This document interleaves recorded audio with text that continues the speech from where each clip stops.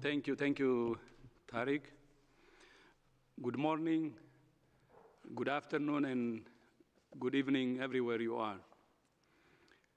When the nations of the world met to form the United Nations in 1945, one of the first things they discussed was establishing an organization to protect and promote the health of the world's people.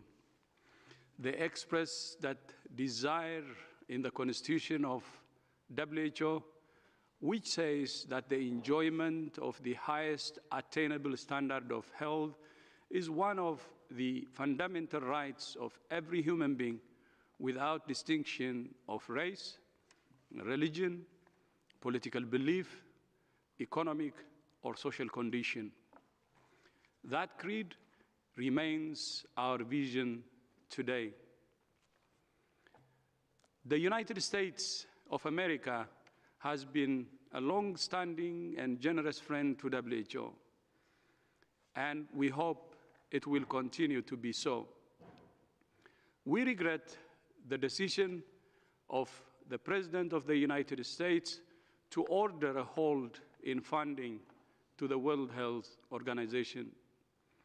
We support from the people and government of the United States, WHO works to improve the health of many of the world's poorest and most vulnerable people.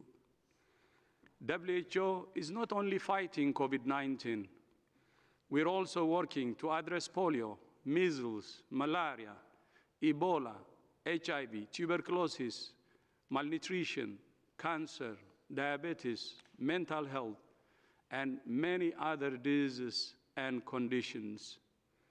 We also work with countries to strengthen health systems and improve access to life-saving health services.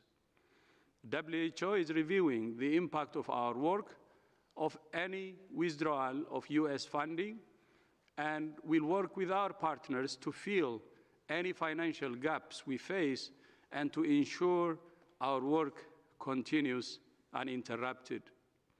Our commitment to public health, science, and to serving all the people of the world without fear or favor remains absolute. Our mission and mandate are to work with all nations equally, without regard to size of their populations or economies. COVID-19 does not discriminate between rich nations and poor, large nations and small. It does not discriminate between nationalities, ethnicities, or ideologies. Neither do we. This is a time for all of us to be united in our common struggle against a common threat, a dangerous enemy. When we're divided, the virus exploits the cracks between us. We're committed to serving the world's people and to accountability for the resources with which we're entrusted.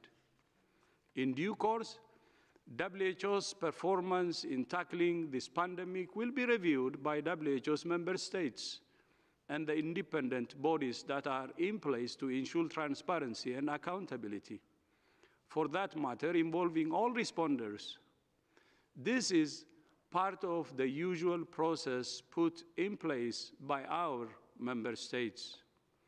No doubt, areas for improvement will be identified and there will be lessons for all of us to learn.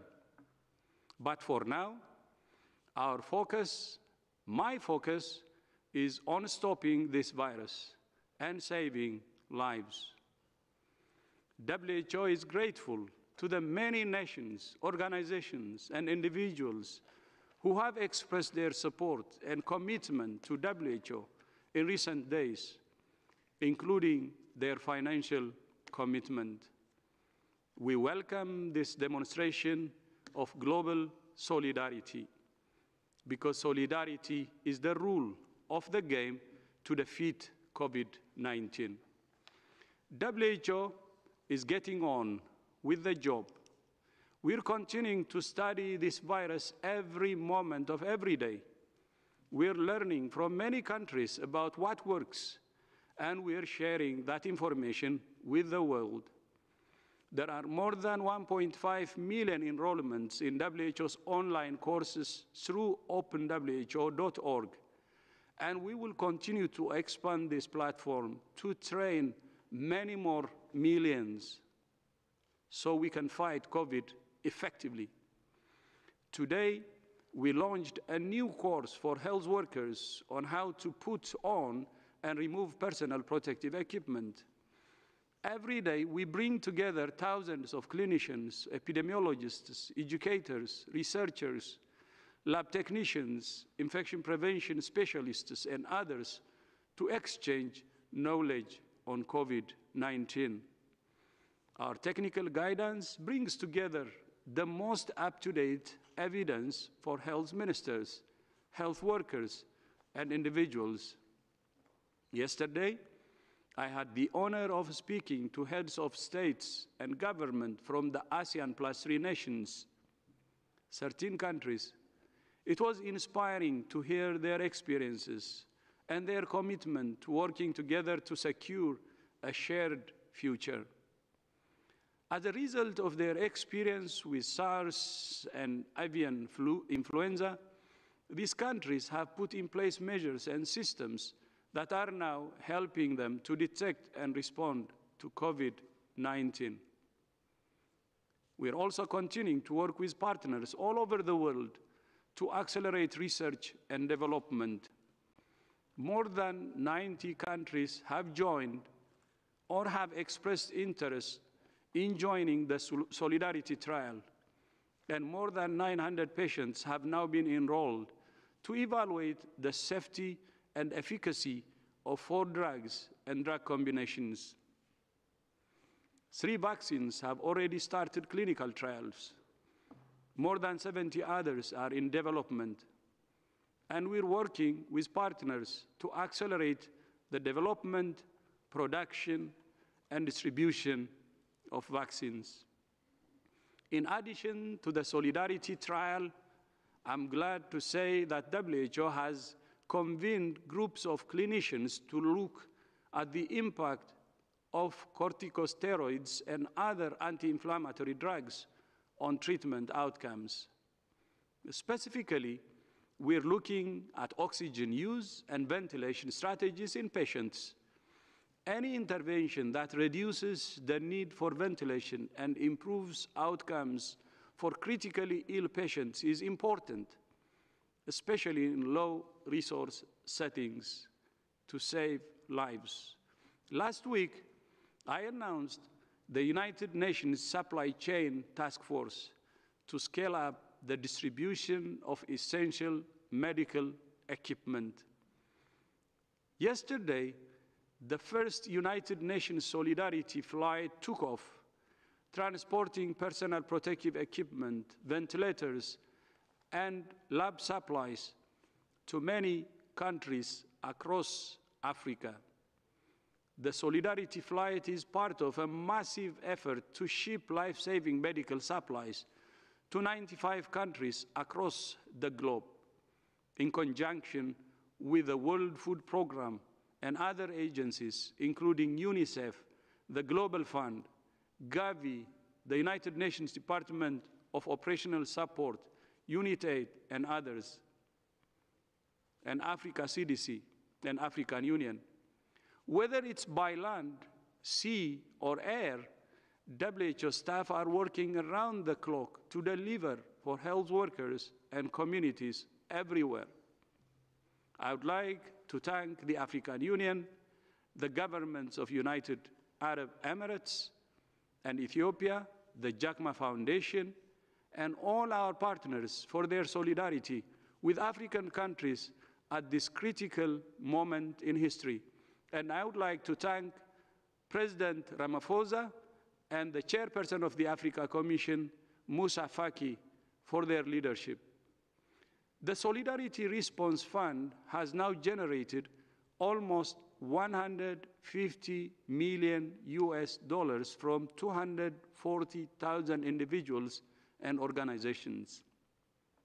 This Saturday, some of the biggest names in music are coming together for the One World, Together at Home concert, to generate further funds for the Solidarity Response Fund, but not just to raise funds, to bring the world together, because we're one world, one humanity, and fighting a common enemy. And I thank Lady Gaga, the global citizen, and all that are participating in putting this concert together. We will continue to work with every country and every partner to serve the people of the world with a relentless commitment to science, solutions, and solidarity.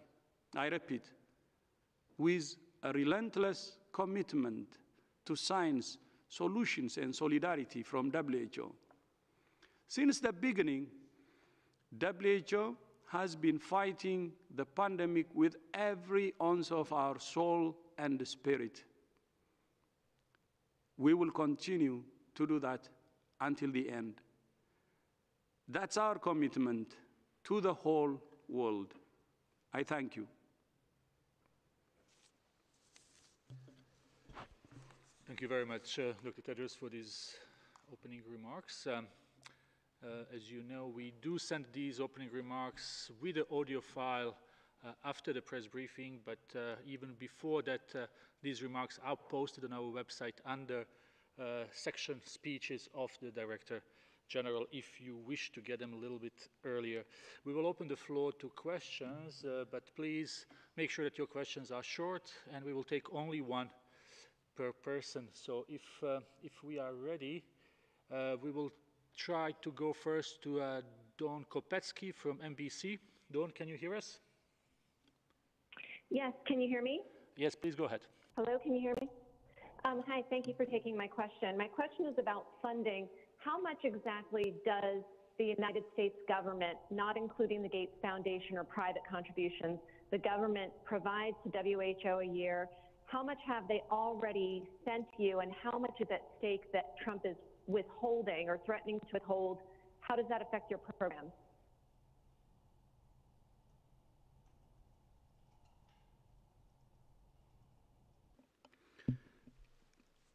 So I, I, I, have said it in my statement. We're assessing how our programs will be affected. And not only that, uh, we will try to fill any gaps with, with uh, partners so we will get back to you after our assessment is completed. Thank you. Thank you very much, uh, Dawn.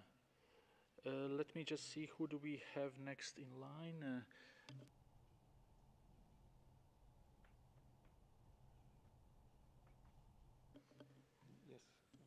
Uh, so we will go now to uh, our colleague from uh, Geneva Press Corps, John Zarocostas, who works for Lancet and France 24, if I'm not mistaken. John, can you hear us? Yes, I can hear you. Can you hear me, Tariq? Yes, please go ahead. Yes. Uh, good afternoon, uh, Dr. Tedros. I was wondering, sir, you just mentioned you're looking at the assessment on the shortfall in funding.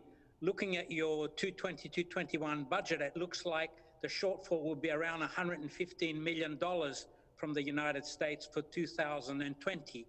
Can you get the money from partners, or will you be forced, as you're allowed under WHO rules, to transfer funds from other programs up to 5% of uh, earmarked funds? Thank you, sir. So I will, I will repeat what I said again. I will do, we will do the assessment and then announce it uh, officially. Thank you. Thank you. Thank you very much, uh, uh, Director General. Uh, now we will go to um, also our friend who is uh, often here in Geneva, Shoko from uh, NHK. Shoko, please. Hello, Terry. Can you hear me? Uh, yes, we can hear you.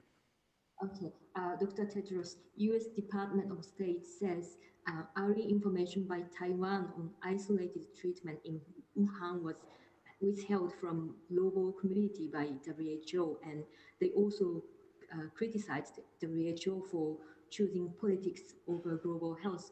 How do you respond to such criticism? Thank you. Best, but I think the question was about Taiwan and isolating Taiwan. Maybe I could just clarify on the technical. Maybe Steve or want to take up the issue around working with Taiwan. But the specific issue of reports, the, there were multiple sources of reports uh, on the 31st of December regarding a cluster of cases of atypical pneumonia in Wuhan, China. In fact, they emanated from a press release or a publication on the website of the Wuhan Health Authority. Um, and it was from that publication that many agencies, uh, including our own uh, epidemic intelligence from open sources and uh, uh I believe ProMed, I believe others, picked up on that. And there was a, a, flurry of communications between various agencies uh, to, to verify that signal. It was WHO then who moved to formally verify that signal through our country office with the government authorities in China.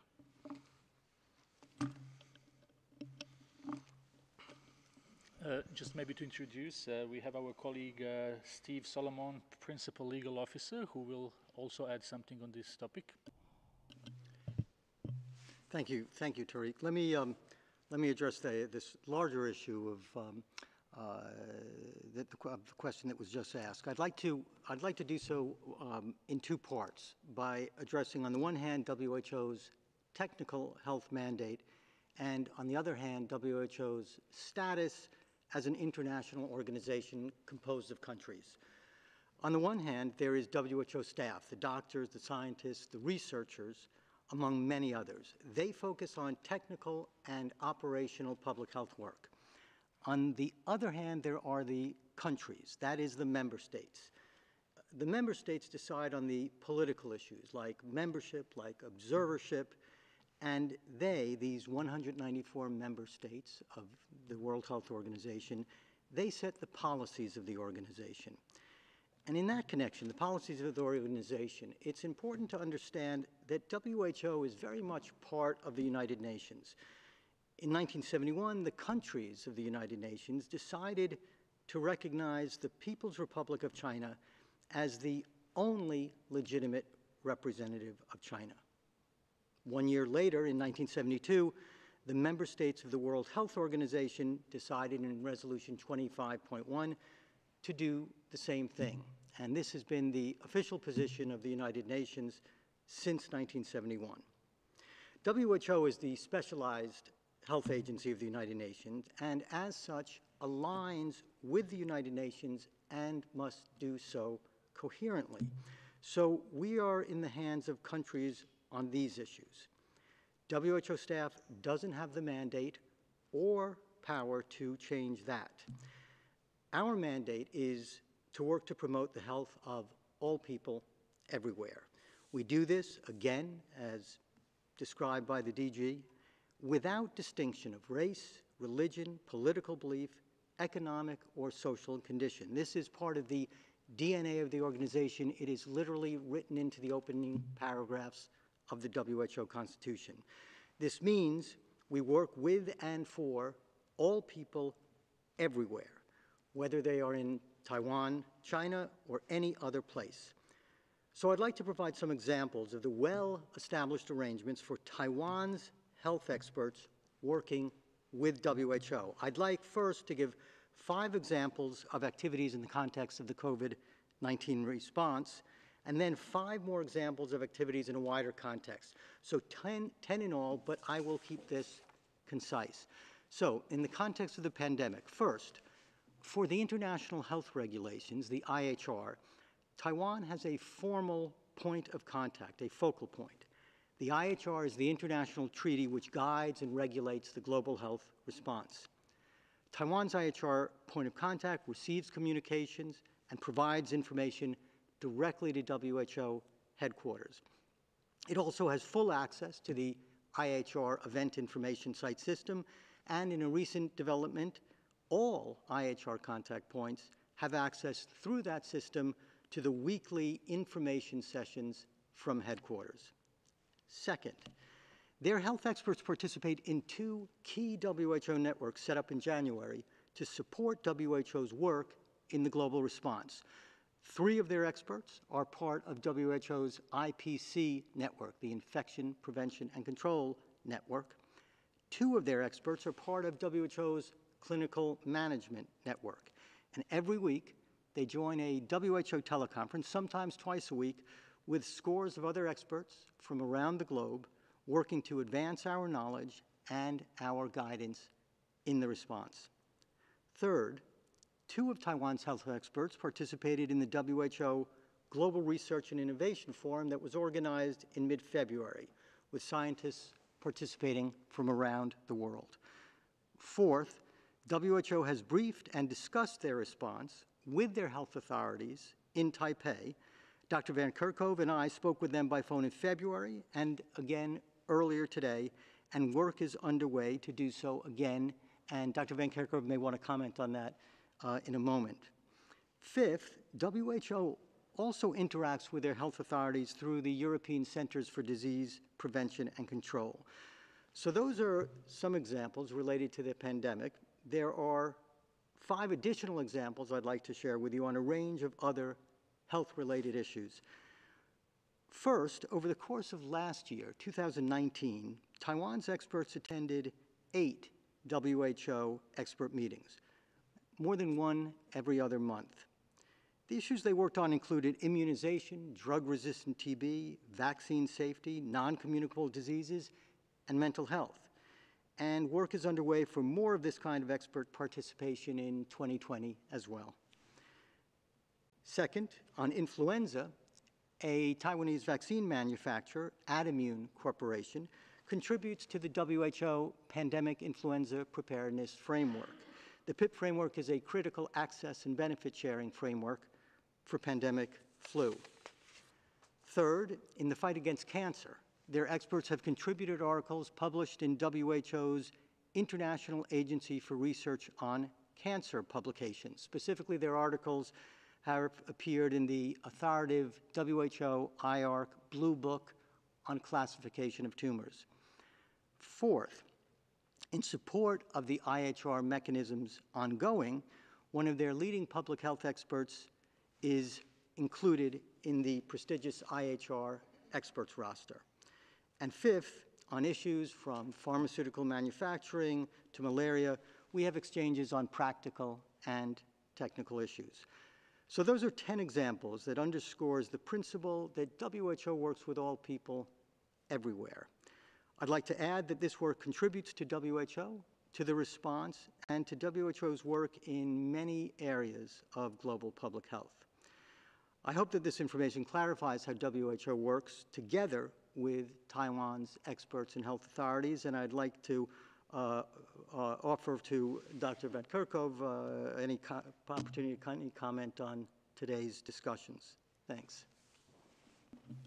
Thank you, Steve. So just briefly, yes, I had uh, the opportunity to brief um, scientists and public health professionals from Taiwan, and um, it's it's always a wonderful opportunity to exchange with any frontline workers, anyone who's involved with this this pandemic, um, to learn from them, um, to exchange information, and how it uh, and how all of this information adds to our understanding of this of this previously unknown virus. Um, so there were two exchanges uh, that I personally um, participated in, um, and I'm very grateful for that. Um, they also participate in our clinical networks and our infection prevention and control networks, again, having a direct exchange with peers um, from, from all over the world. And that is another example of how WHO brings together people all over the world to, to share experiences, which is always very critical early on in an, in an epidemic or pandemic when a lot is unknown.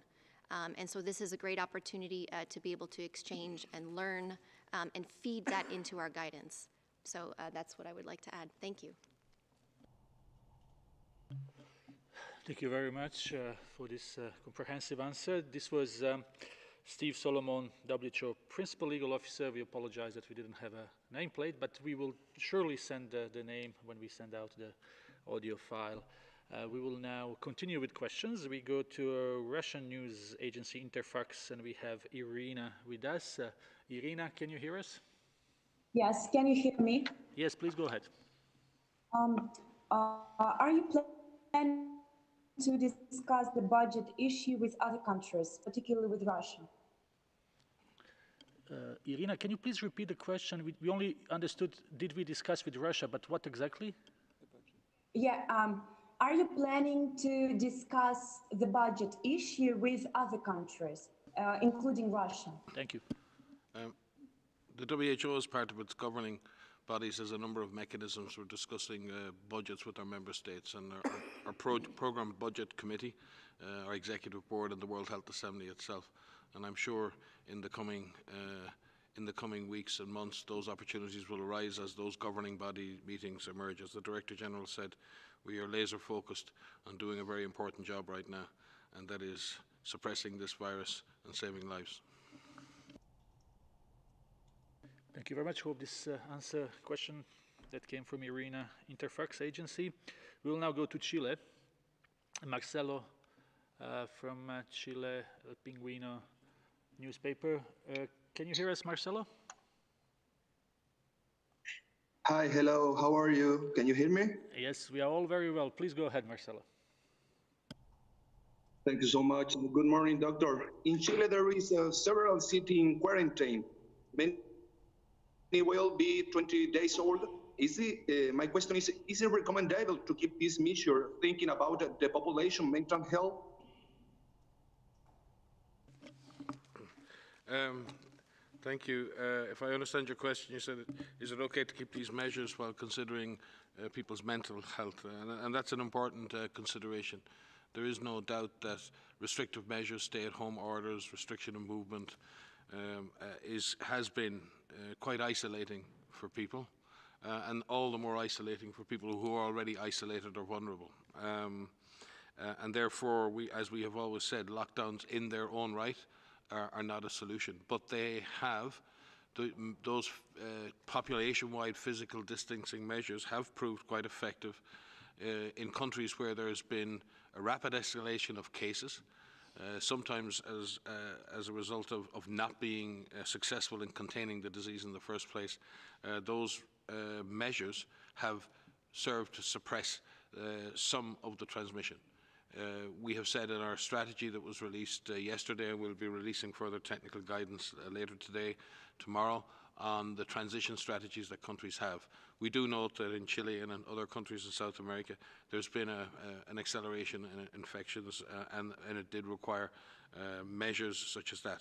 But those measures need to be replaced with strong public health intervention, case finding, uh, testing, contact tracing, quarantine, community engagement, and, and in some ways a new norm where communities, all of us, are going to have to adapt to new ways of behaviour, new ways of interacting with each other, while we continue to suppress the virus and while we search for a vaccine uh, the, and therapeutics that will help us to truly suppress uh, both the, the number of cases and the mortality associated with this virus. Um, mental health, we have issued guidance on mental health and how to manage mental health. It, has been one of the big issues, um, as you've seen in, social media. There's a huge outpouring of support for people. I think communities are supporting each other. Uh, there's been an incredible outpouring of solidarity between people. Um, and while we may be physically isolated, I actually have seen amazing stories uh, of uh, us not being socially isolated. It is tough, it's not easy, and it's something we must endure. Uh, and we must endure it until we have in place the other measures to suppress this disease. So we've said it very clearly to governments. We must work really hard now to accelerate the investments we need in public health infrastructure, in community engagement and, and, and education, and, and having a hospital system capable of dealing with cases. If we do that, we will be able to make our way out of these more uh, draconian lockdowns. And this is something that the World Health Organization wants uh, so badly with, with the rest of the world. Yes, thank you. So um, as you've heard us say, we, we've stopped saying um, social distancing. We've been saying physical distancing because it's important to remain physically separate but socially connected. And there's a lot of ways that you can look after your own mental health and the mental health of your family during these very difficult times. Whether you are, are adhering to a stay at home order or you are isolated yourself, um, there's a lot of things that you can do.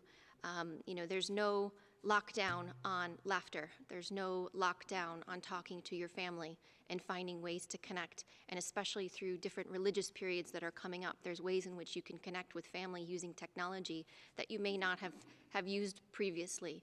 Um, make sure you exercise any way that you can, uh, whether it's at home and doing a class, um, whether it's doing yoga, um, something to keep yourself physically active.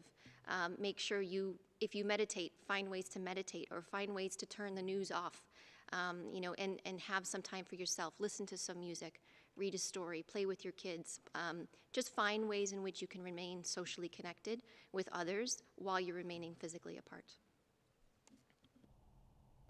Thank you very much, uh, Dr. Van and Dr. Ryan. From Chile, we go to Pakistan. We have uh, Niha Dagia from Express Tribune. Can you hear us, Niha? Hi, Chris. Um, my question is there's a looming threat of, of the virus spreading in the slums, but Pakistan's negative to positive ratio is quite high. What do you think the government can do to ensure that it is testing the right people? And do you think that the WHO uh, influenza surveillance can help in detecting community spread?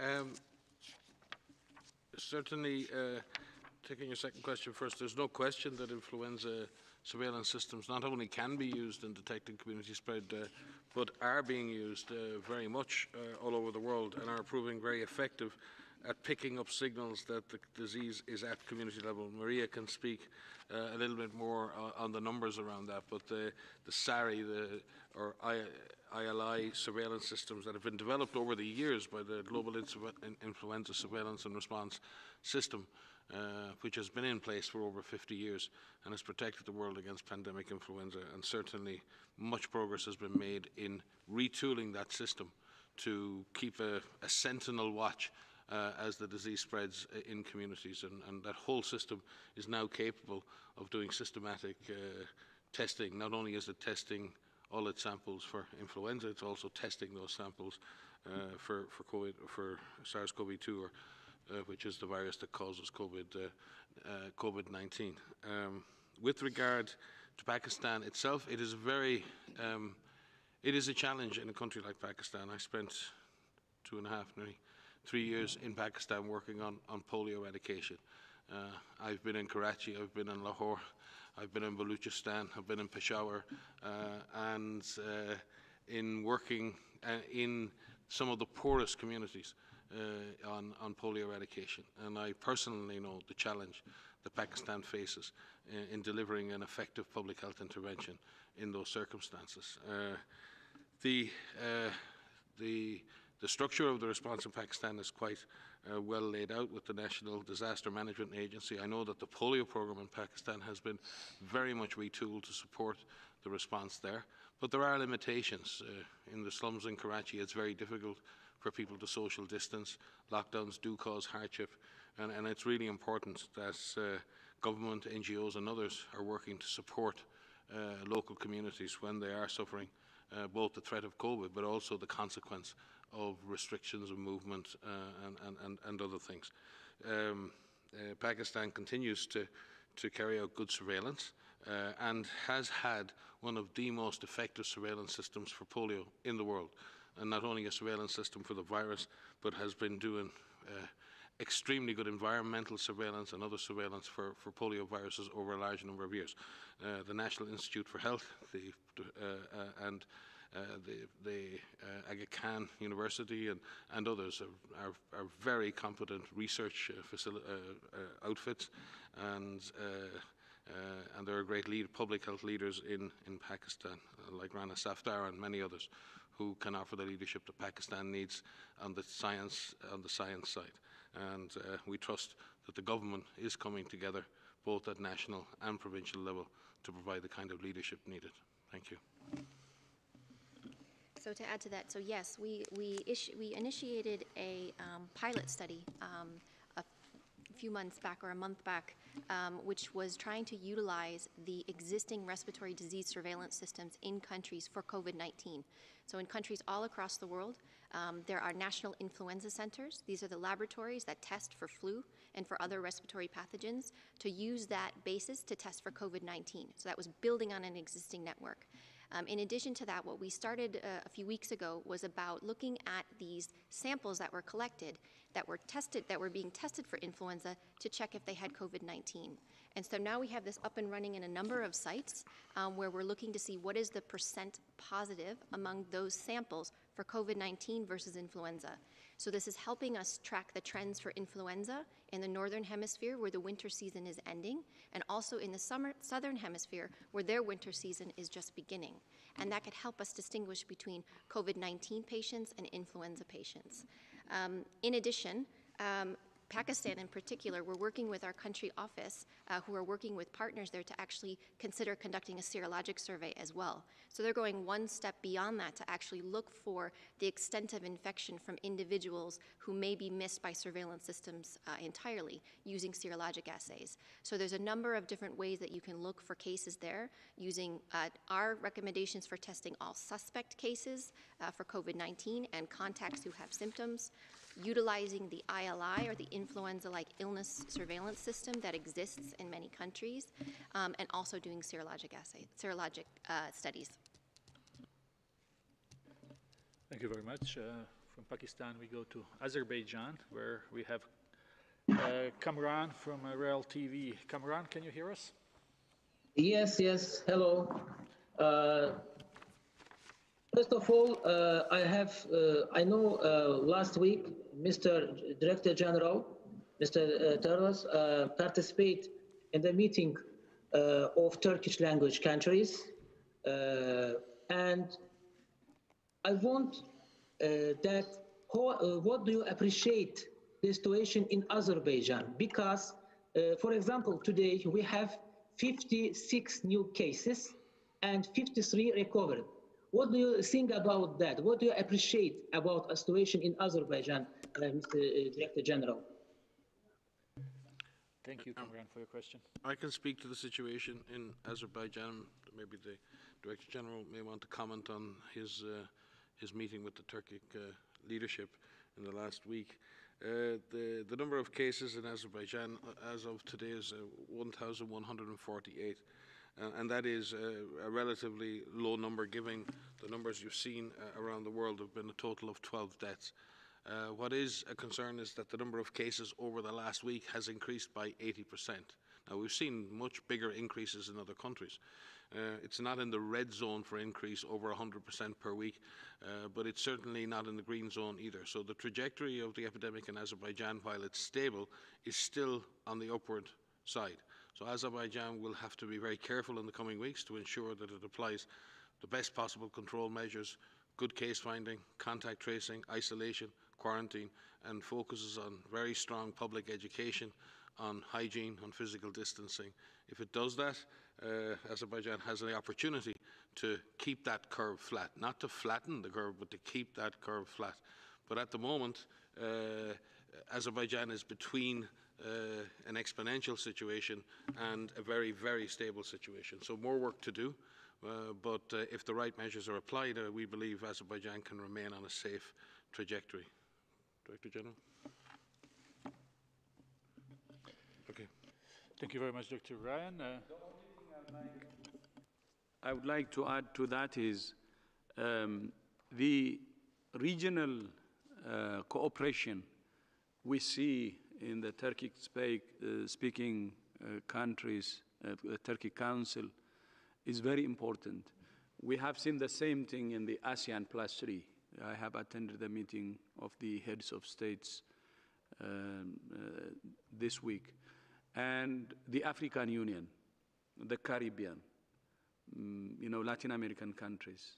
That kind of regional, uh, you know, cooperation is, is very important and that could lead us into global cooperation too.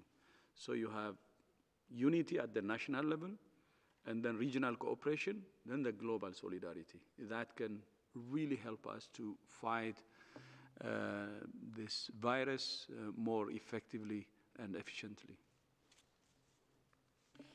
Thank you very much. Uh, we will go now to Helen Branswell from STAT. Helen, can you hear us? Um, I was hoping uh, maybe Maria or Mike could uh, give us some information about um, serology testing. I know that a number of countries have been uh, starting to do this work. Is there any picture yet of how good the serology tests are, how reliable they are, and what is being seen in the testing that has been done to date?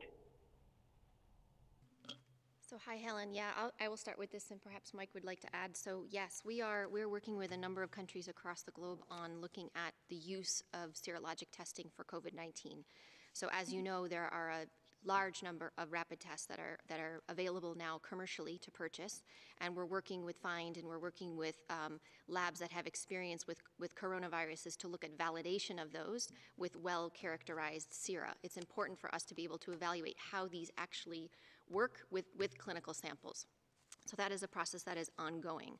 Um, there are a number of countries right now uh, that are conducting serologic uh, studies, which are looking either at stored samples that were collected um, throughout this pandemic for other clinical reasons, um, uh, blood bank, um, blood donations, um, or are doing these studies prospectively. Um, today we had a teleconference with 160 groups, 160 people who are working with us on our early investigations, which we're calling the Unity studies now. These are early epidemiologic investigations that focus on cases and contacts, that focus on healthcare workers, that's a separate protocol, a separate protocol for household transmission, and a, a fourth protocol looking at age population-based um, uh, serosurveys. Um, we had a call with them today to see where they are. We have more than 40 countries who are utilizing these core protocols um, in their own countries. And we're starting to see some results from some of them from the molecular testing, not yet from the serology. And they're asking us, what are the tests that we can use? So we're working very hard to validate those tests so that we can be able to say, here are four or five serologic assays that could be used um, so that we can have a better readout on how they actually work. In addition to that, we have a, another serologic uh, solidarity study. It's called the Solidarity 2 study, which is working to estimate global seroprevalence.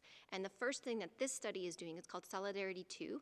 Um, it's working on pulling together a serum panel, uh, a, a standardized serum panel um, across the globe so that they could standardize assays and that they can use one protocol to estimate global seroprevalence. That is a process that is ongoing, and we're hoping that we will get some results from that in the coming months. Um, having said that, there are some serologic studies that we're now starting to see being published. Um, unfortunately, I haven't seen full papers of these using full methodology. I've seen a study from Denmark, I've seen a study from Germany, um, suggesting around a 3.5 to 14% seroprevalence. Um, we need to really understand the methods that were used, um, the assays that were used in terms of their sensitivity and specificity before we, we can have a, a, a good understanding of what this actually means. But of course, these numbers are lower um, the seroprevalence in these two studies, which is not representative globally, are lower than, than I think what many people were expecting, certainly lower than what some of the models had predicted. Um, but we're working with our partners to understand what all of this means in terms of our understanding of the epidemic waves that may happen um, with this pandemic virus. Mike? And just to add, uh, Helen, the and, and Maria's there is really speaking about seroepidemiologic uh, studies where the testing is done in validated labs as well, where the testing is bench done in labs. There's the whole other world of rapid diagnostic tests or point of care diagnostics, and people are talking very much about can we do the diagnosis at the bedside, either uh, PCR based or, or uh, there are new diagnostic tests based on antigen detection, and what they do is they detect the proteins of the virus in the sample, or rapid diagnostic test based on the antibody that's developed by the body in response to the virus. Um, and there's a lot of there's a lot of uh, very important innovation going on in that space. But there are real um, um, we need to be very very careful. Antigen tests, the sensitivity of those tests can be low. In other words, they may pick up anything from 30 to 80% of true infections. In other words, you can have people who get a negative test who actually have had the infection. The same with some of the, the antibody tests. The, the important consideration with antibody tests is that many people take up to two weeks or more to develop the antibodies in response to having the infection. So they could actually turn out to be negative on the antibody test, but actually have had the infection. Uh, now, none of those are barriers to introducing these products as part of a comprehensive strategy, but we do need to be careful to ensure that introducing rapid tests is done as part of a comprehensive diagnostic strategy, a comprehensive testing strategy, and where governments can have validated tests that they introduce into the system in a way that adds to the control of the virus, that adds to surveillance, that adds to diagnosis, uh, and doesn't cause unnecessary confusion. And many governments around the world are, are, are doing, uh, are doing that just now. Thank you very much for this. Uh, next question is from EFE News Agency. We have Antonio. Antonio, can you hear us? Good afternoon. Good afternoon. Yes. Thank you for taking my question. So the main accusations of the US president to WHO are that the organization failed to confirm in the few week in the in the first weeks of January that there was human to human transmission and also that it opposed flight restrictions from China to US and other countries. What has WHO to say in its defense?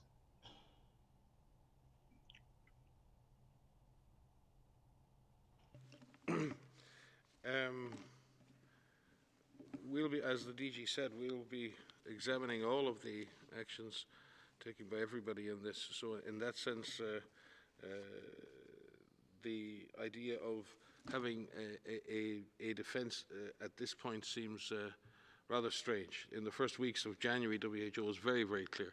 We alerted the world on January the 5th. Systems around the world, including the US, began to activate their incident management systems on January the 6th. Uh, and through the next number of weeks, we've produced multiple updates to countries, including briefing multiple governments, multiple scientists around the world um, on the developing situation. And that is what it was, a developing situation. Any, uh, the virus was identified on January the 7th, the sequences were shared, I think, on the 4th, the 12th, uh, with the world, uh, where we're dealing with a completely uh, new virus. All potential respiratory pathogens in, in uh, in the initial reports, uh, in which there were no mention of human-to-human transmission, it was clusters of uh, a cluster of atypical pneumonia or pneumonia of unknown origin. There are literally millions and millions of cases of uh, atypical pneumonia around the world uh, every year. Um, and in the middle of an influenza season, sometimes it's very difficult to pick out a signal of a cluster of cases. In fact, it's quite remarkable that such a cluster was picked out, uh, uh, 41 confirmed cases ultimately in a cluster in Wuhan. Um, there is always a risk with a respiratory pathogen uh, that it can move from person to person. We've seen with MERS, for example, uh, can spread from person to person, but in very particular environments, as we've seen, in an occupational environment, in healthcare environments. And when WHO issued its first guidance to countries, it was extremely clear that respiratory precautions should be taken in dealing with patients with this disease, that labs needed to be careful in terms of their precautions in taking samples because there was a risk that the disease could spread from person to person in those environments. There is a difference between the potential for human-to-human -human transmission. For example, avian influenza H5N1 can spread from person to person, but it doesn't spread efficiently in community settings.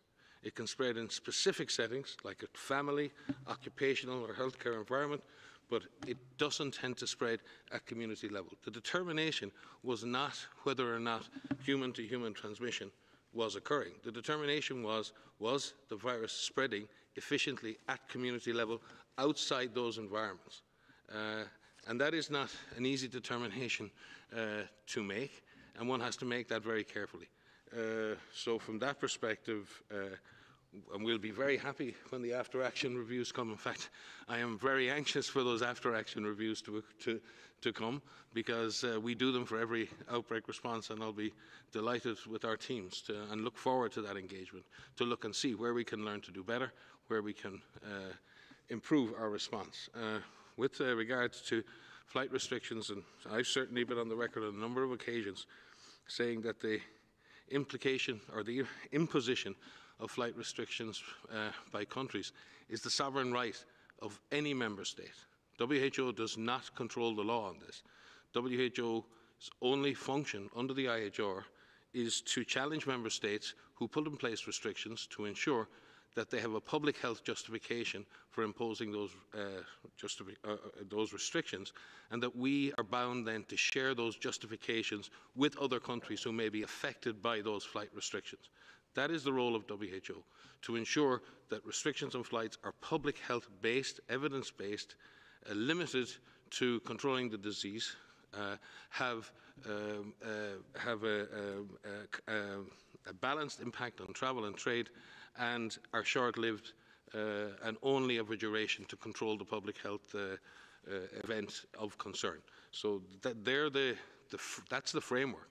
The international health regulations is a framework negotiated by 194 countries.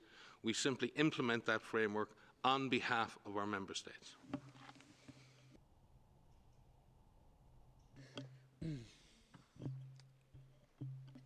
So just just to add to that, so exactly as Mike said, um, you know, what in the beginning of an outbreak, I actually went back and listened to my press conference on the 14th of January um, because it was a significant event for me. It was my first press conference I've ever done. But in terms of the outbreak itself, um, I laid out what are the things we need to know. Um, and at the time, there were 41 confirmed cases. Um, and Tarik was with me at that press conference. And what I outlined were, were six things. I outlined you know, what is the pathogen? How do we identify what this is? And at the time, we had learned that it was a novel coronavirus, and that sequence was shared. Um, uh, that the pathogen was identified. It hadn't been shared yet, or I'm sorry, it was shared on the on the 12th of January.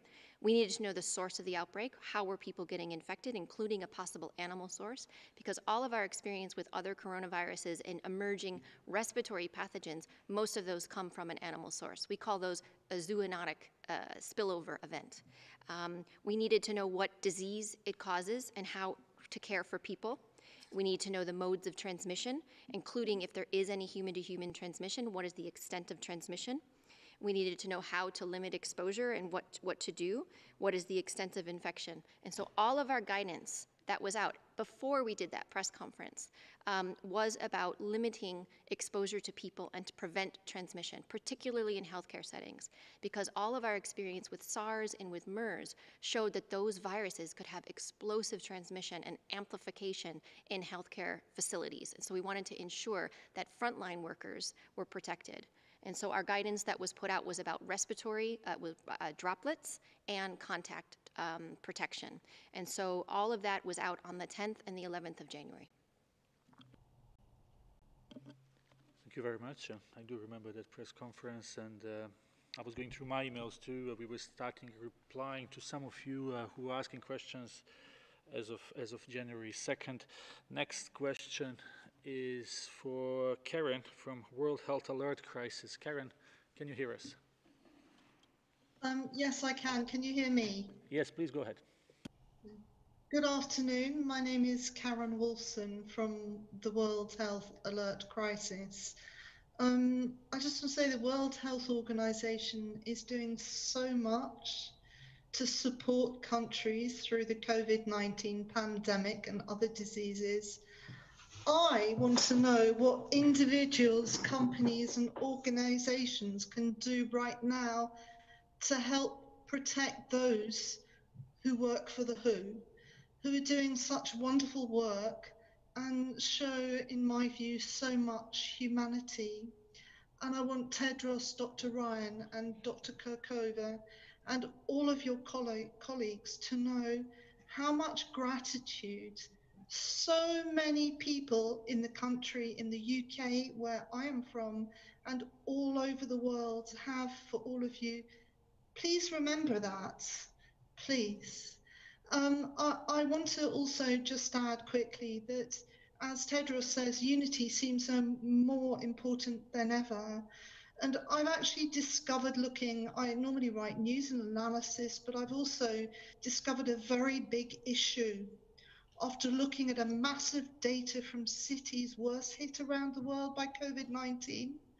I've discovered these cities all have exceptionally high humidity levels, rising temperatures, and carbon dioxide at very high levels during their outbreaks. And I am not a climate person, but I've actually alarmed and now believe this is to do with global warming. And I've uploaded as a result uh, um, the study to YouTube for everyone to read and maybe add to, because I've realized that perhaps there's a much longer term issue that the world needs to address um, to reduce humidity and pollution to help reduce the risk of triggering more disease because I understand I'll just continue a little bit that COVID-19 appears to be triggered or the not the onset but but the outbreaks by wet and humid conditions very much like um, malaria but my, my question really is what can we do to help you because I would like to create a human shield around you, but that's not possible. And I want to know if there's anything the world can do for the organization that is guiding us. Thank you. Thank you very much, Karen, for these nice words. Yes, uh, uh, thank you very much. Um, uh, I think what we need in, in WHO, like so many workers around the world, is the space the support and the solidarity to do our jobs. Um, and there are so many thousands of brave frontline workers all over the world doing that today. Uh, our solidarity is with them we thank communities and others. Some specifics, companies, organisations, everyone's, DG has spoken about this, everyone's involved. This is all hands on deck, all hands on deck. Uh, today, this Director General was in a meeting with World Economic Forum business leaders, talking with them about how they can contribute. Uh, we're talking with uh, uh, uh vaccine manufacturers. We're talking with uh, with supply chain managers. We're talking with companies in the pandemic supply chain network uh, around stabilizing supply chains for, for supplies and, and, and, and, everything else. We're talking to producers of medical oxygen. We're talking to people who make ventilators and who can adapt technology for use in low resource settings.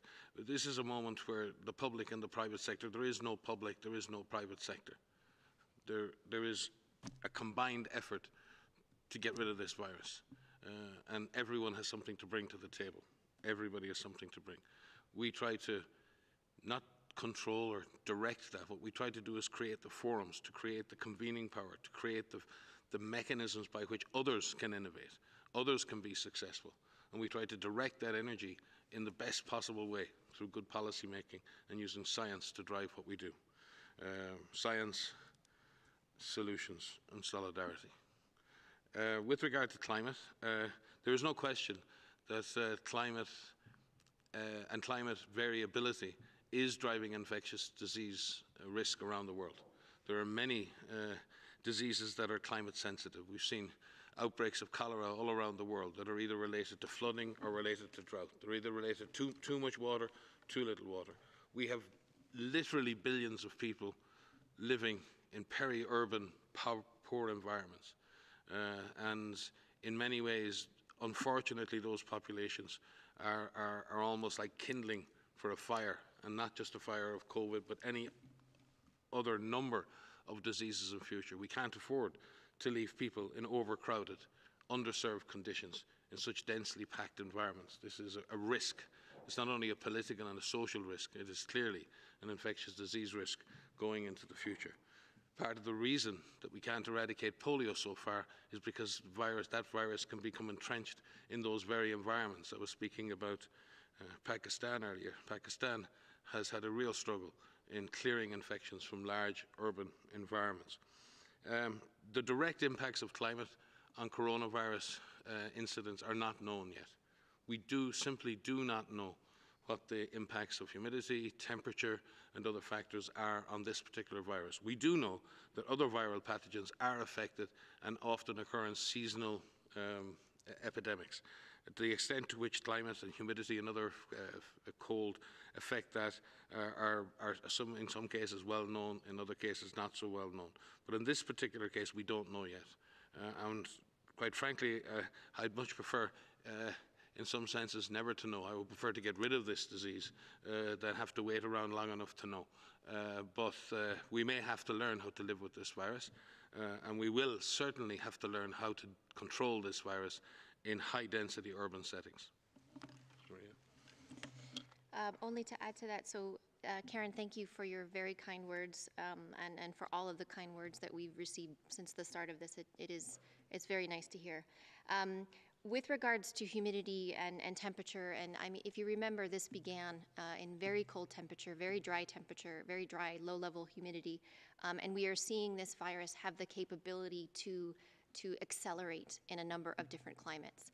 Uh, we need, as Mike said, we don't know how this virus is impacted completely yet. It's still new. Uh, we're still in the early stages of this pandemic in our fourth month, and we need to treat this virus everywhere it shows up as aggressively as we can so we don't give it a chance to take off.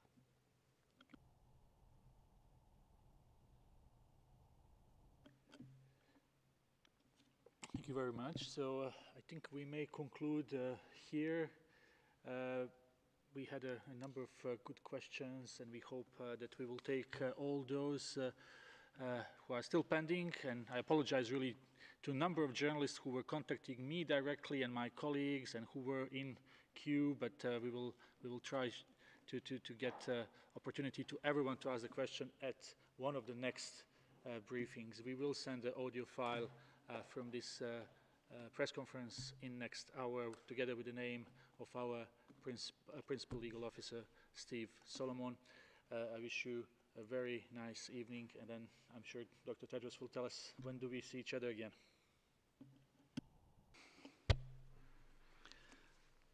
So see you on Friday.